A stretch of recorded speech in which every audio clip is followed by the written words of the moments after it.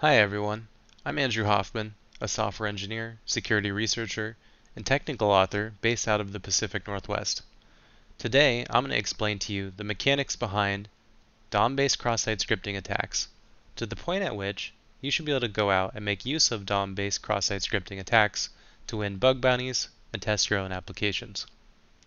So once again, we find ourselves on Google's cross-site scripting game a game that was created by Google in order to evaluate the cross-site scripting skills of bug bounty hunters, security engineers, and other types of security professionals. This time we're on level 3, that sinking feeling. The reason we're on level 3 is because this application includes a DOM-based cross-site scripting vulnerability. But before we can talk about that, we need to briefly cover what is cross-site scripting.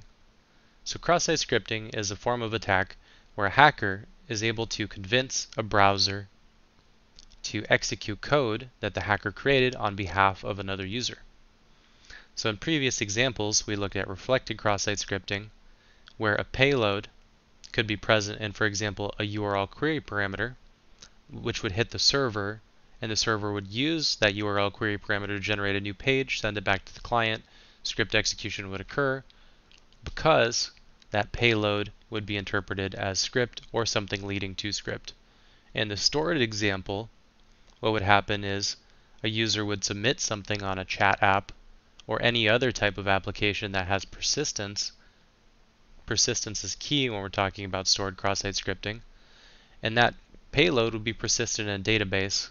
And whenever another user called that page, whenever they did an HTTP GET, requested that page and loaded it into their browser, they would load in a page that includes the payload that was stored in the database.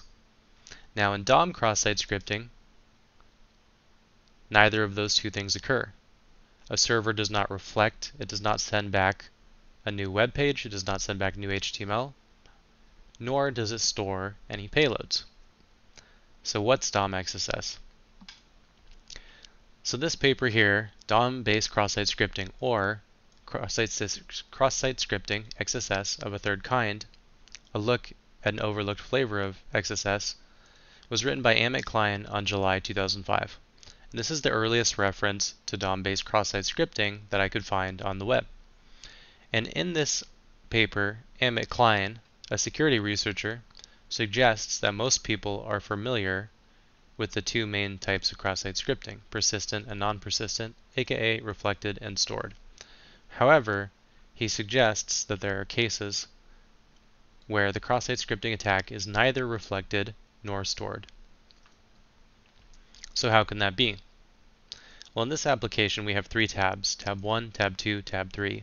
We click on these tabs, the URL bar changes, in particular, the window.location.hash changes to a new value. But is it generating a new web page from the server? Let's check by looking at the network tab. As you can see here, when we change the tabs, the only thing that changes is the image that is inside of the tab is loaded. No new HTML is loaded. So if cross-site scripting were to occur in this page, it would all have to be from within this single page application. It doesn't hit the server. So let's dig a little bit deeper into this application and see what makes it tick. So this is the source of the vulnerable application, the iframe. Inside of this, inside of the head, you'll notice there's a script tag here. And this script tag has a function called choose tab. It takes a number. Now as we click here, it's very obvious that we're actually making use of this choose tab function. And it's defaulting to 1 when it loads, and you can read through the rest of the code if you'd like to. But the important part is all this is occurring in the browser. No server is ever being hit with any HTTP request, WebSocket, or any other form of network request for data. So inside of this choose tab function, you'll notice that there's this line var HTML equals image plus parse int num plus br. Hmm, what could that be? So let's change this a bit we change to 3 test. And then we notice that based on the value 3 test, we are generating a new location for the image. In this case, it's an invalid location, so it wasn't able to load in. So let's imagine that we want to escape, escape out of this function up here. So what we could do is something akin to this.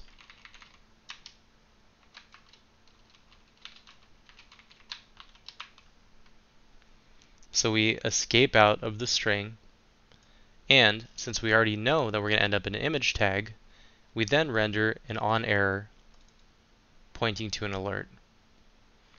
And now in the previous video, we talked about how on error is an attribute that fits inside of the image tag that is capable of executing script. In fact, if the SRC turns out to be invalid, it will immediately invoke the on error attribute if it's present and execute any arbitrary JavaScript that comes after the on error attributes definition. So let's click go. Let's see what happens. As you can see, we had a pop-up, we got script execution, and we advanced to the next level, or we have the capacity to. So why did this happen? Well, in this particular case, this value right here is referenced in the browser as window.location.hash. You'll notice in the console if I type window.location.hash, you won't actually see anything. Or actually, it looks like you will because I'm already within the iframe. I was assuming that the context of the console was up here. But typically, you run window.location.hash and you get the value of the hash. Now window.location.hash is a browser DOM function, so you could say that this is the source. This is where the script is coming from. And if we go back to the script over here, we can see that the DOM is loading in this element, the script tag, which has the choosenum function, which is the function that we escaped out of in order to embed the image with the on-error handler down here. So this is the sink. Both the source and the sink for this cross-site scripting attack are in the DOM no server is ever requested. Because both the source and the sink occur entirely within the DOM, within this single application inside of the single page, this particular attack is categorized as a DOM-based cross-site scripting attack.